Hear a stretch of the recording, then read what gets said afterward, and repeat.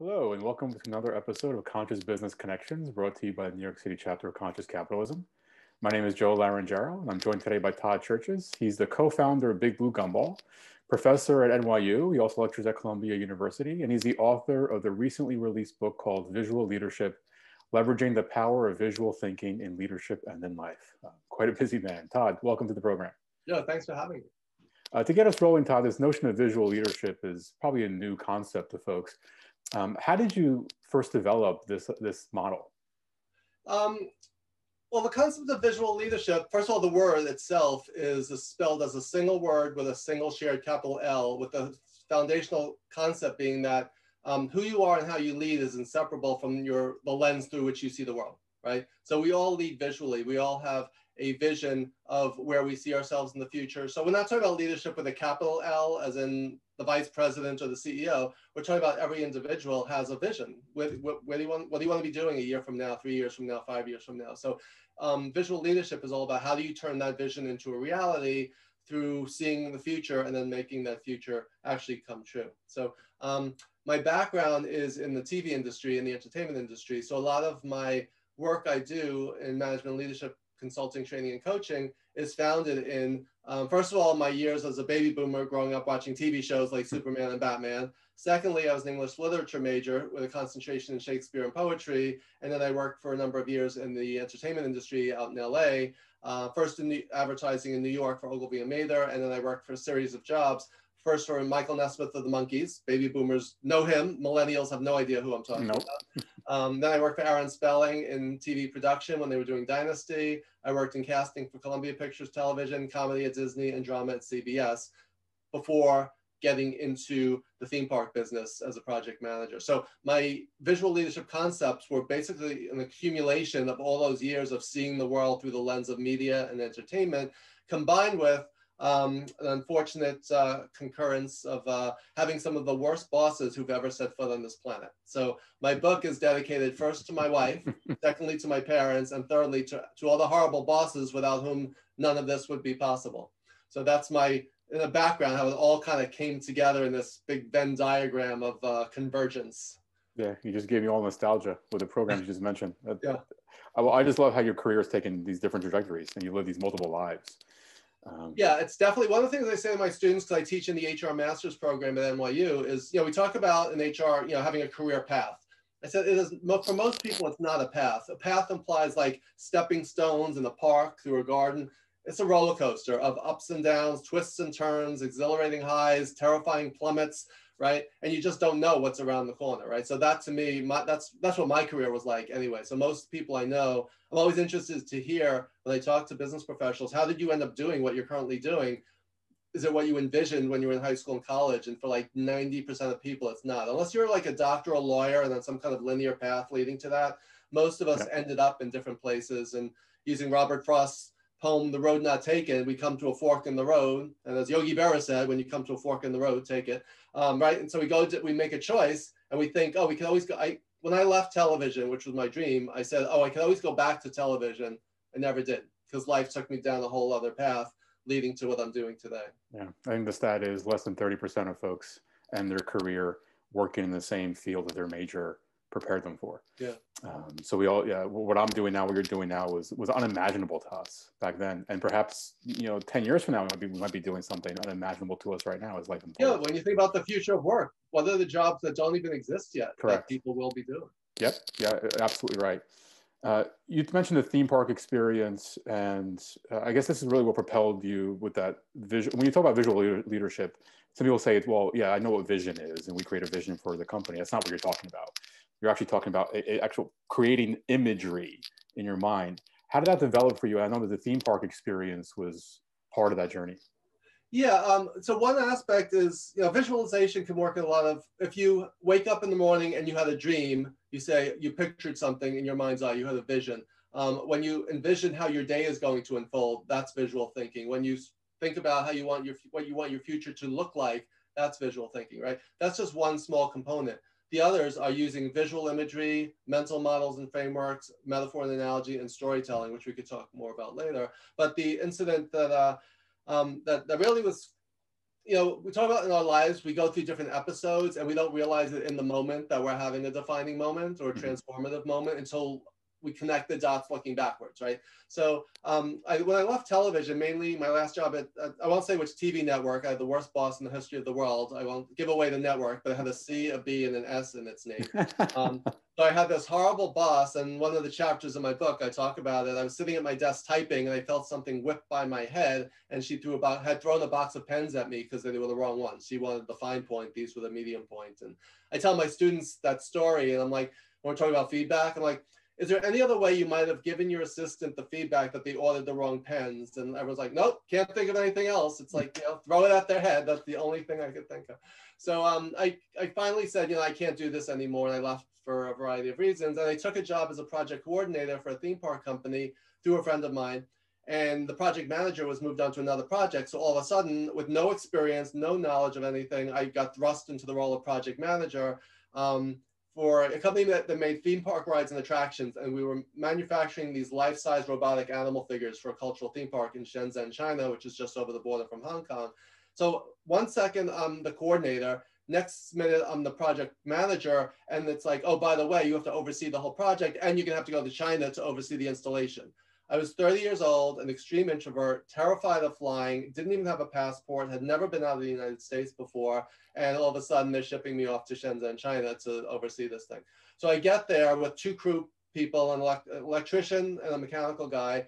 And we show up and no one speaks English. Even the translator that was assigned to us did not speak any English. So um, how did we communicate? We needed to, so long story short, I started drawing. I started picking up paper and sketching things out, like what goes where. So it was basically turned into a game of Pictionary and charades, right? It was like two words, sounds like screwdriver or tape measure. So I had to literally draw things out. And um, we got it done through pictures and pointing, basically. And then so on reflecting, I realized how using visual imagery to communicate an idea was so impactful, not only when you speak a different language, but even with people with whom you speak the same language. And one of my mantras is how do you get people to quote unquote see what you're saying? How do you get an idea from your head and into someone else's? Shakespeare coined the term um, to see something in your mind's eye in Hamlet when, uh, when Hamlet saw the ghost of his father and didn't know if it was a figment of his imagination or an actual ghost. And he said, right, you know, I see my father in my mind's eye. So how do you get an image out of your mind's eye and into someone else's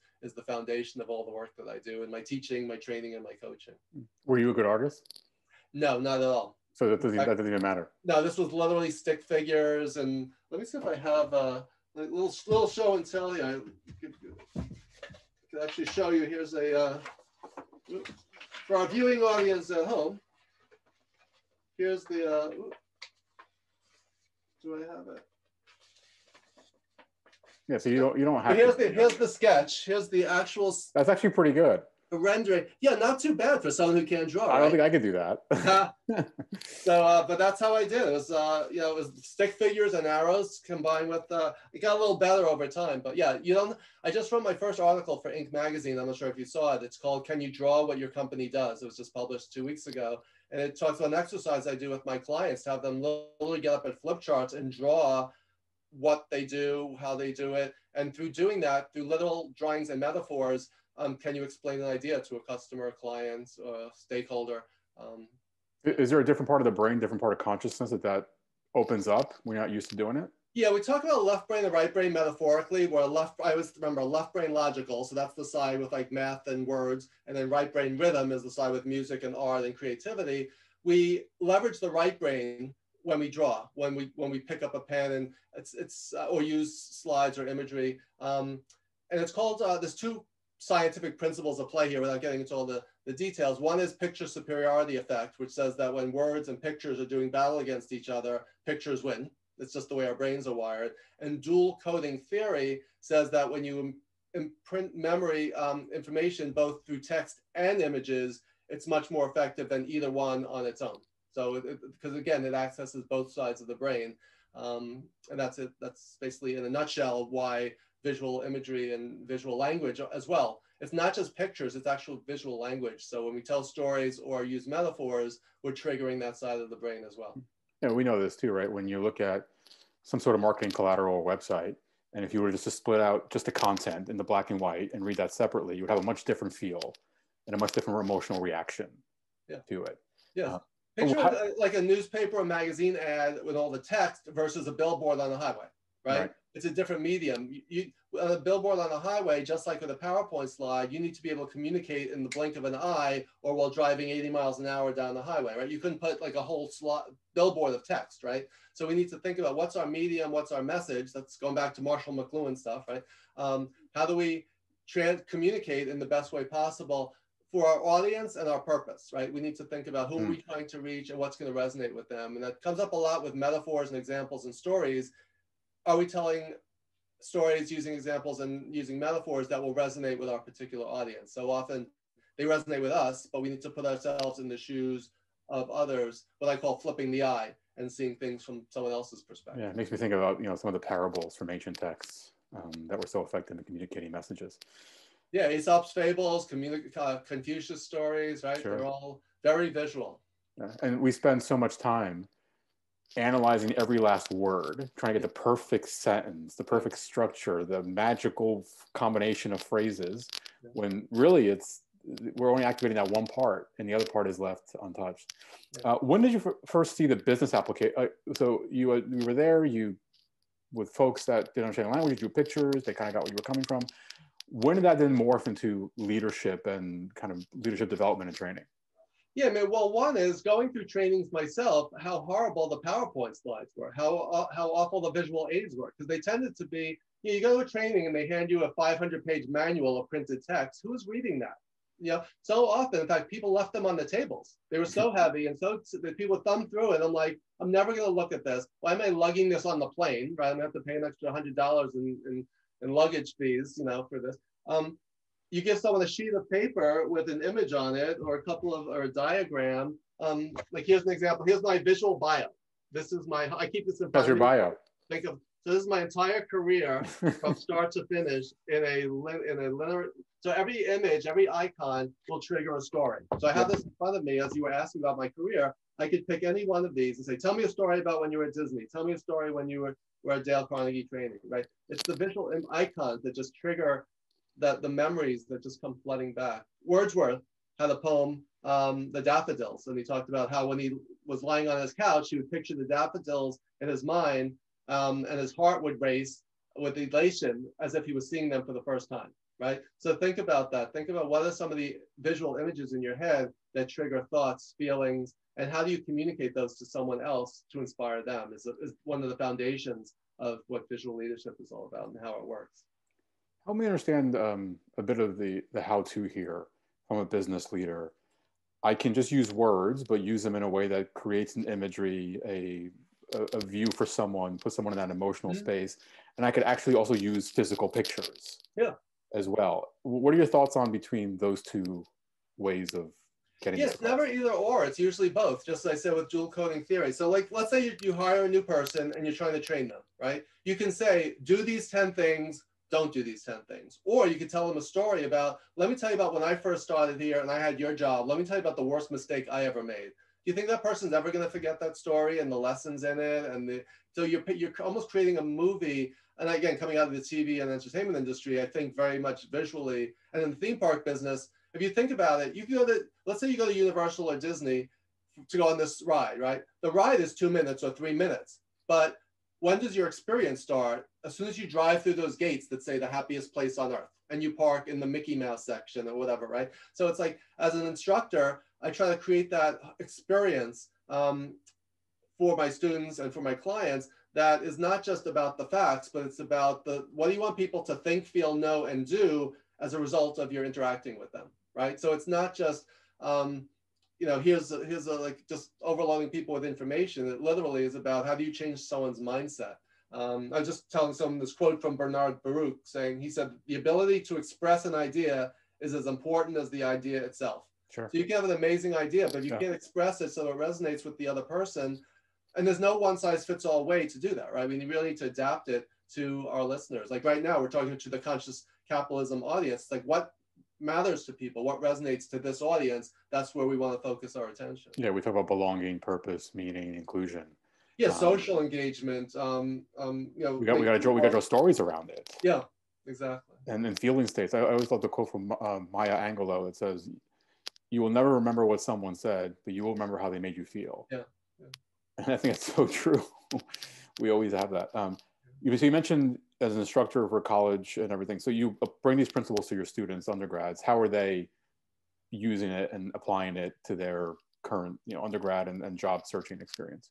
Yeah, they love it because first of all, it's different, right? So just in, in terms of the human brain craves variety, right? So so many instructors are still teaching with the old style lecture and textbook method that they grew up with, right? So if you engage students, my, my class literally starts with a game show kind of quiz. Like put your, you know, I, they walk in, before I go over the syllabus, before I even introduce myself, I said, put your books away, close your laptops, you're having a pop quiz, this counts for 50% of your final grade. And they're like, wait, what? We just, we just sat down. And then I show them a series of uh, leadership quotes where certain words are left out and they have to fill in the blanks. Mm-hmm. They have to do it first on their own, then with a partner, and then they have to share. And I reveal the answers through a visual slideshow. In fact, here's my, uh, so if they get the answer right, if they get it wrong, right? So what, what, so you imagine walking to a class where that's what you experience within the first seven minutes, right? It says this is not going to be your, you know, your father's leadership training, right? You're activating all the senses yeah so that's exactly right so this that sets the tone like this is going to be different and they're hooked from you know for the next 14 weeks that's fantastic. One uh, thing i want to say a lot of professors i do a lot of training of other instructors at nyu a lot of them say oh the first four to six sessions of my course are lecture and then we shift to the interactivity. Mm.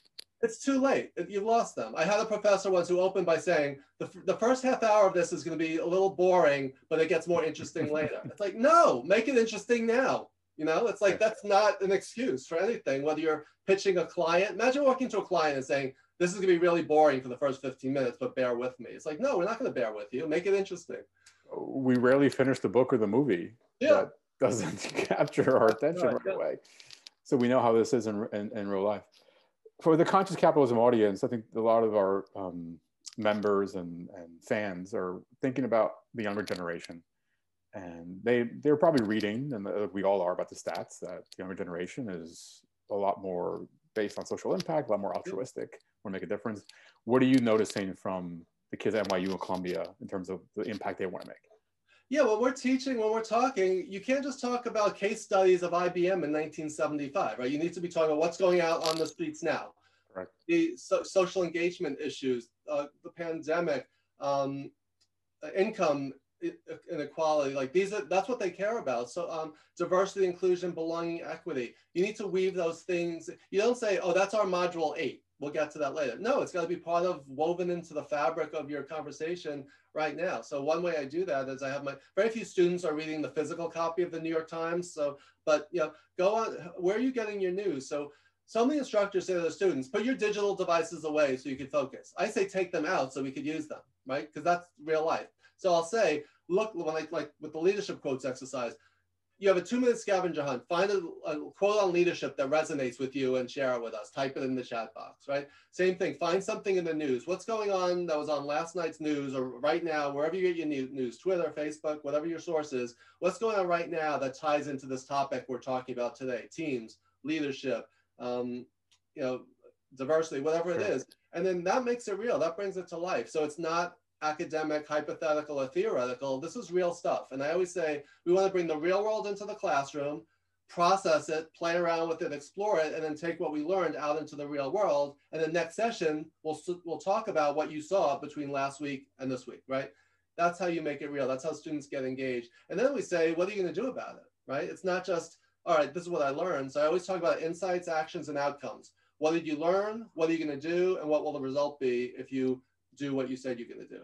And that's how you bring that's how you create change. Mm, this is brilliant. And you know i'm, t- I'm i have the recording of this. I'm going to watch it back myself because i teach classes. And this is just such it's such profound and uh, simple but also um, very profound and impactful information. So i'm going to lead in with this because i think you can create a whole career honestly Todd of just training the trainers because it's such an important element. Professors facilitators coaches of all kinds. Um, but I'll let you answer. What do you have in store for 2021 and beyond? What's next for you? Yeah, I do. I actually do do train the trainer. My brother and I did a five-part series of train the trainer programs for the U.S. Department of Homeland Security to train their um, their agents in their immigration and, uh, and refugee areas. So, and I've trained other clients as well, and I do faculty engagement. So I love, one of the reasons I talk so fast is I've, I've you know, I was talking about passion and purpose, the two P's. You can tell I'm very passionate about what I do because we've all sat in horrible trainings, horrible courses, horrible bosses, bad professors, right? It's like I want to be the type professor and boss that other people talk about and say, this is who I learned from, this is who inspired me, just as I had certain people who inspired me throughout my career. So next level is just to keep spreading the word on visual leadership and getting people to see the world through a new lens um, and basically change the world by looking at the world through the lens of people who are different from them and helping other people. You know, being a leader, one aspect is formulating a vision of the future in your mind's eye. Another aspect is communicating it in, a clear and compelling way that inspire others. But another way is how do you are you helping other people realize their visions and make their visions a reality? And that's where we can pay it forward and help other people to do that. So one thing I'm going to be doing is creating a series of master classes based on my book, where each chapter is three to five pages. Each chapter could be its own 45 minute to an hour uh, session on how do you use these tools, tips, and techniques to be a more visual leader. So that's my main focus. So uh, we were talking about that before. 2020 is like a write-off financially. So it's like, it's all about building my brand, promoting my book, getting the word out there, laying the foundation for hopefully 2021 being a, a better year for all of us. Yeah, the long rainy weekend, as we talked about before. Yeah. yeah. Um, I'm here. I mean, I hear so many things in there. I hear EQ. I hear empathy. I hear understanding. Um, we could do a whole conversation on all yeah. those topics individually, but uh, Wow, Todd, thank you so much for sharing. This is, I think it's really profound insight, uh, something we could all benefit more from, whether we're running our own business, whether we're running a team, whether we're teaching, facilitating, coaching. This is really powerful stuff. So really thank you. And I hope people go out and attend your master classes and buy your book. And uh, I think we can gain a lot from it. I'm certainly a fan and I'll be on board. Um, so Todd, thank you for joining us today. Thanks and having me, Joe. yeah, fun. thank you. Uh, before we let you go, just real quick, where can we learn more about you and get your book? Yeah, so I live on LinkedIn, so connect with me on LinkedIn. I'm the only Todd Cherches there, so uh, follow That's me good. there. I'm always trying to promote visual leadership concepts there and curate, etc. Um, my new website just launched a few weeks ago, toddcherches.com. And if you go to toddcherches.com slash subscribe, you can download my list of top 52 visual leadership books to help you be a more visual leader. And my book's available wherever books are sold, including Amazon. Wonderful. All right. Well, thanks again, Todd. And uh, I also want to thank our New York City Conscious Capitalism chapter sponsors, the Core Club and the Tomyak Foundation. Um, so thank you everyone for joining us for the latest episode of Conscious Business Connections and hope to see you again soon.